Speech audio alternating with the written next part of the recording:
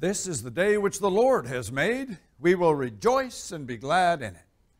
Welcome to DCC, Delisle Community Chapel, on Valentine's Day 2021. Happy Valentine's Day, everybody. This morning in our worship service, we're going to be sharing together in Holy Communion. If you are joining us online and you'd like to be a part of the communion service, you can uh, set out some uh, juice and bread now, and then you'll be prepared later in the service to join with us from your home or wherever you are. Our psalm today is Psalm 145, and I'm going to be reading verses 8 through 21. The Lord is gracious and compassionate, slow to anger, and rich in love. The Lord is good to all. He has compassion on all he has made. All your works praise you, Lord. Your faithful people extol you. They tell of the glory of your kingdom and speak of your might, so that all people may know of your mighty acts and the glorious splendor of your kingdom. Your kingdom is an everlasting kingdom, and your dominion endures through all generations. The Lord is trustworthy in all he promises and faithful in all he does. The Lord upholds all who fall and lifts up all who are bowed down. The eyes of all look to you. You give them their food at the proper time. You open your hand and satisfy the desires of every living thing. The Lord is righteous in all his ways and faithful in all he does. The Lord is near to all who call on him, to all who call on him in truth. He fulfills the desires of those who fear him. He hears their cry and saves them. The Lord watches over all who love him, but all the wicked he will destroy. My mouth will speak in praise of the Lord. Let every creature praise his holy name forever and ever we pray. Father God, we thank you that you are a God of love. Today we know that we can trust you because you do love us and you have our best interests in your heart. We ask God that as we worship you today, that we would truly do that in spirit and in truth in a way that pleases you, in a way that brings a smile of pleasure to you. So, God, may every part of this service give you honor and glory through Jesus Christ our Lord. Amen.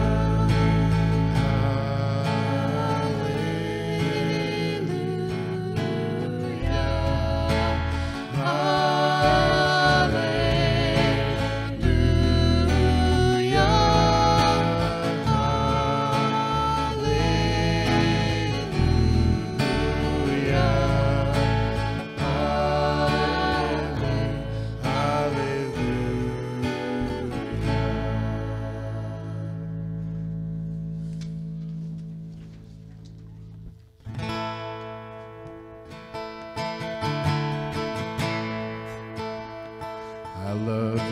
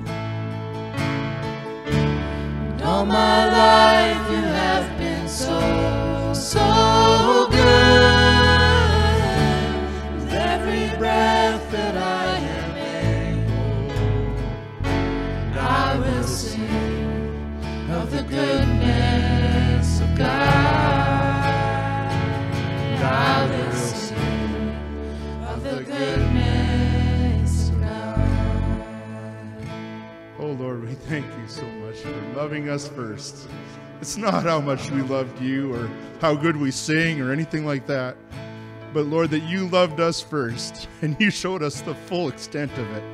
And we just thank you, Jesus. Amen. Our gospel reading today comes from John chapter 15, and I'll be reading verses 9 through 17. As the Father has loved me, so have I loved you. Now remain in my love.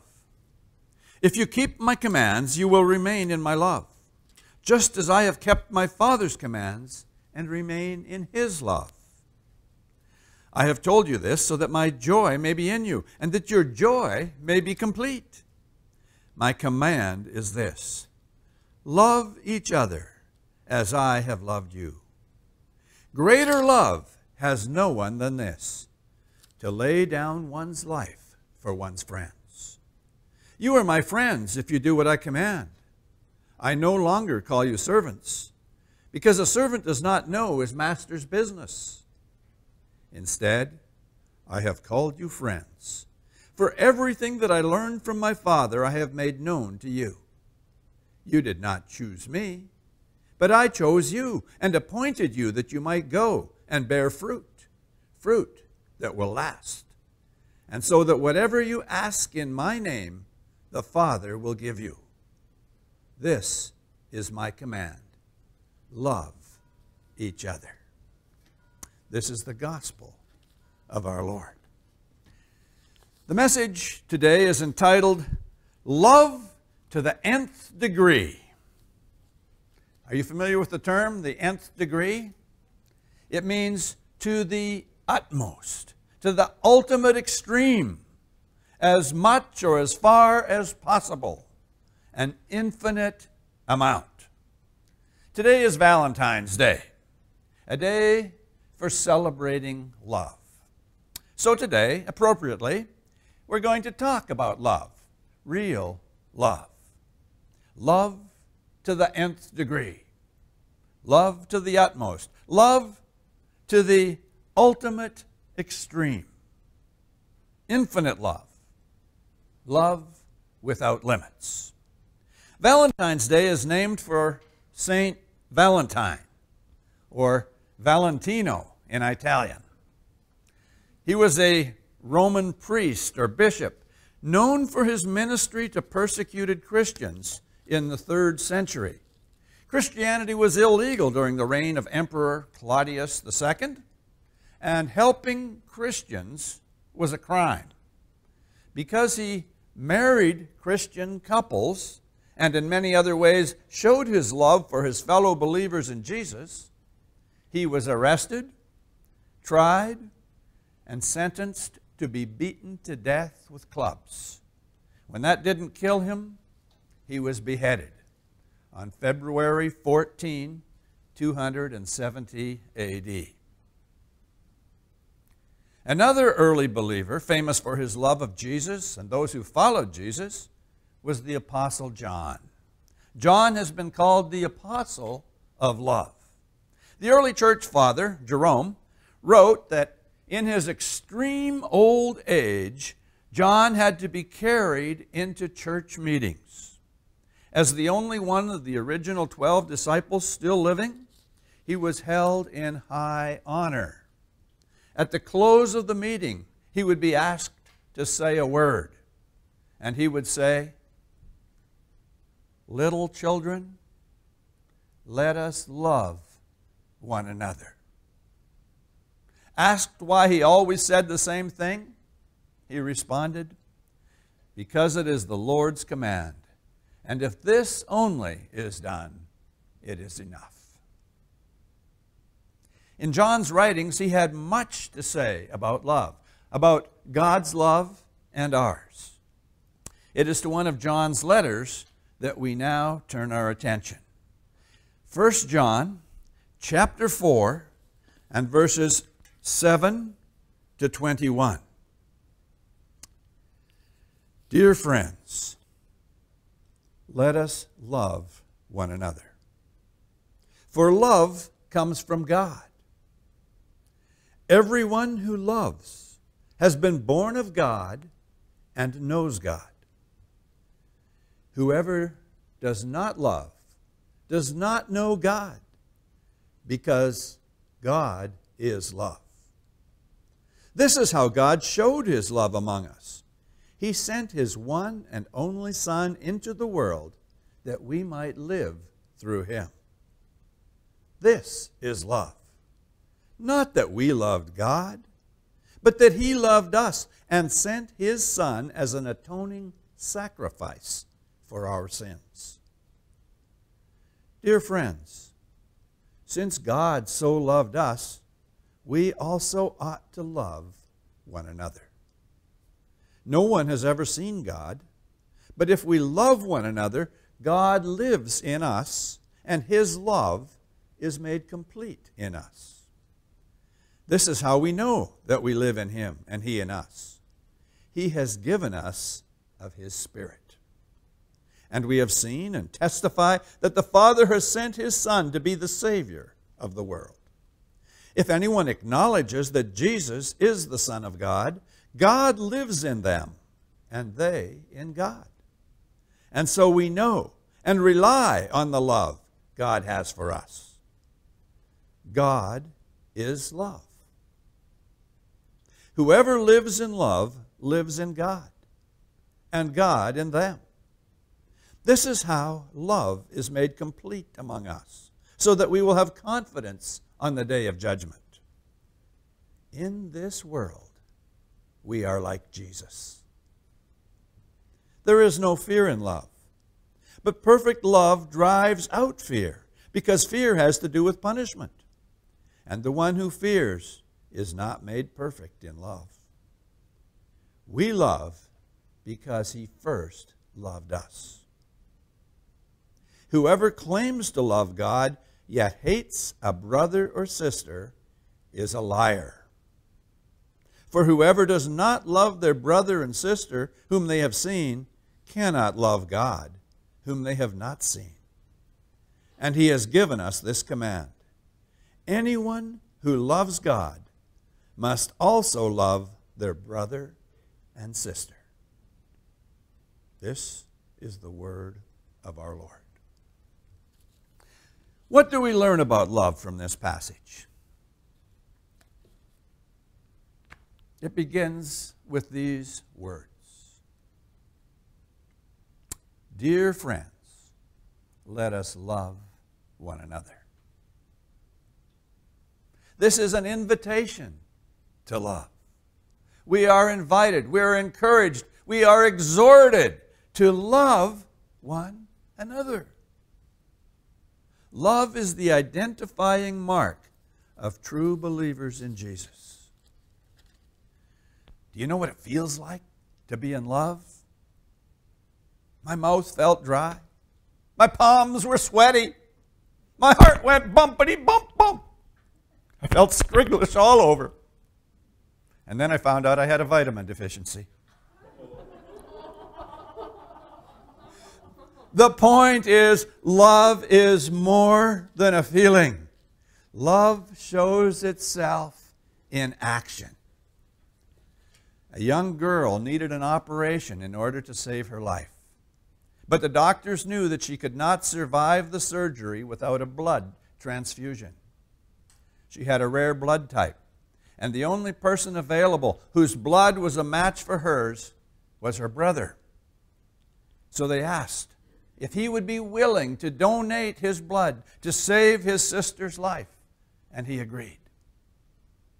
As the blood was drained from his arm, he asked, How soon am I going to die?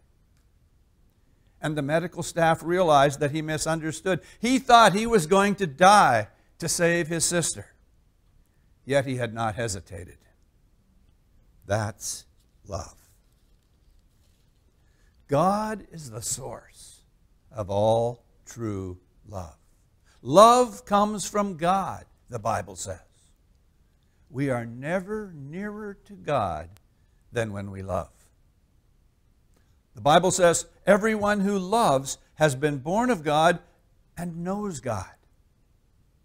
This is a bit puzzling because non believing people can be very loving people. Before we go further, let's clear up the confusion. The confusion arises from the fact that in our English language, we have only one word for love. And so we say, I love God. I love my wife. I love my children and my grandchildren. I love my church and my friends. I love freedom. I love my country. I love motorcycles. And I love my wife's apple pie, especially when it's served warm with a big scoop of Chapman's vanilla ice cream on top. So we use the word love for all those different things. But the Greek language in which the New Testament was written has four different words for love. There is the word eros, which is romantic love, the kind of love that usually is celebrated on Valentine's Day, the kind of love that exists between a man and a woman. And then there is storge love. That is family love, the love that you have for your parents, for your siblings, for your children and grandchildren. The third kind of love, the third Greek word is philia, which is brotherly love, the kind of love that you have for your close friends. Philadelphia is the city of brotherly love. And finally, there is agape love, divine love. Now, because every human being is created in the image of God, all human beings have a limited capacity for love, for romantic love, for love of family, for love of friends. Natural human love. And that too comes from God. But unless we are connected to the divine source, unless we have a relationship with God that is real and personal, we cannot love others with agape love. Agape love is the very love of God flowing through us, through our lives, to touch the lives of others. Those who truly know God love other people with a quality of love that transcends mere human love. Those who do not love, who will not love, who cannot love do not know God, for God is love. It is only by knowing God that we learn to love. And it is by loving that we learn to know God better. God is love. If you forget everything else I say today, remember this God is love. This may be the single greatest statement about God in the entire Bible.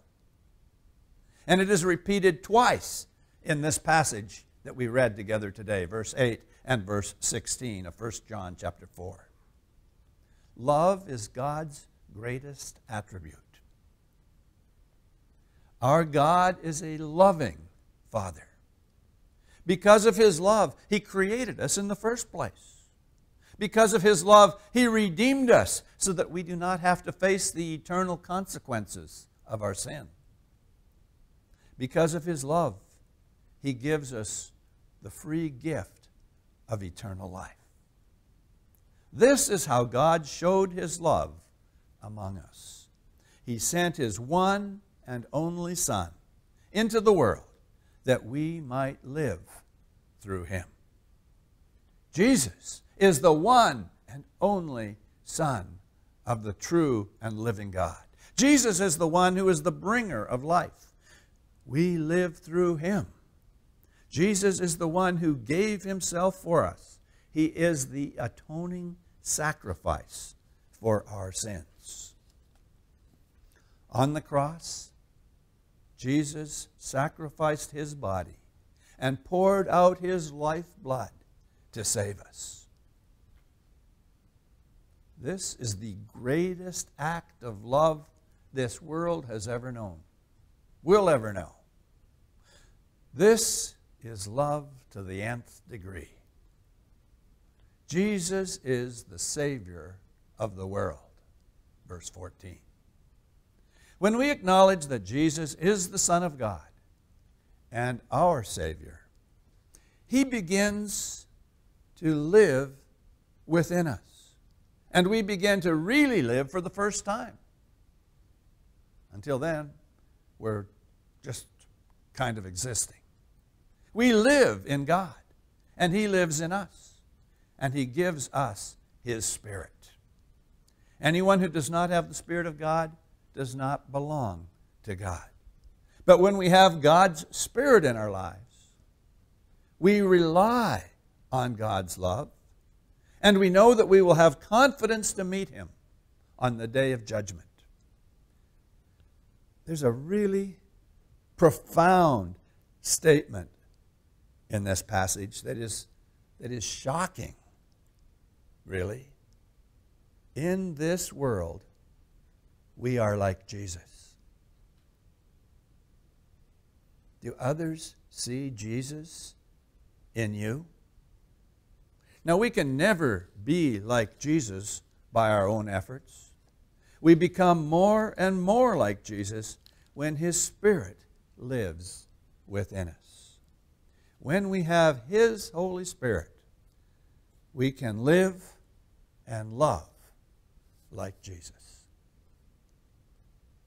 Today, we are going to share together in Holy Communion.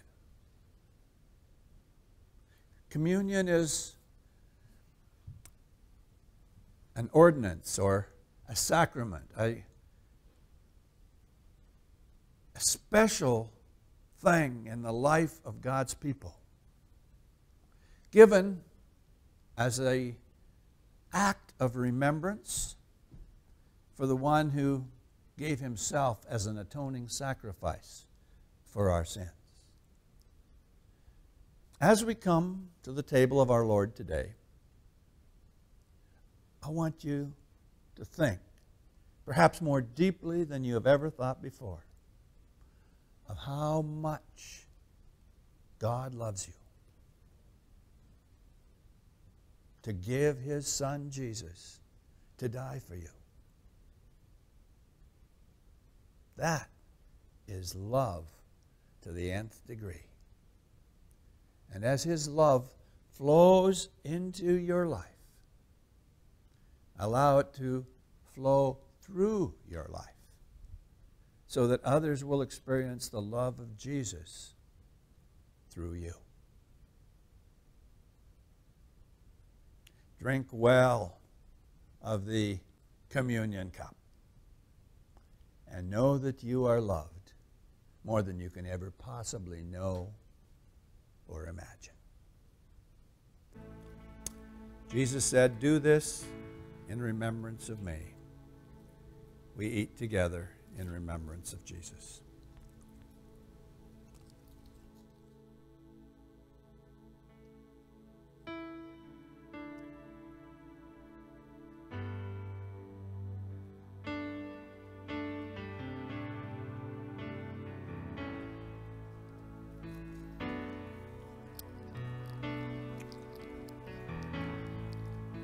After supper, Jesus took the cup, blessed it, and then he said, This cup is the new covenant in my blood, shed for many for the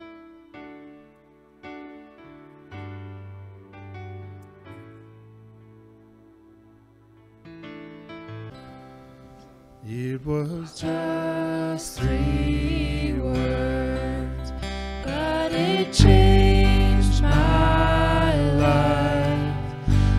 Just a childlike truth that consumed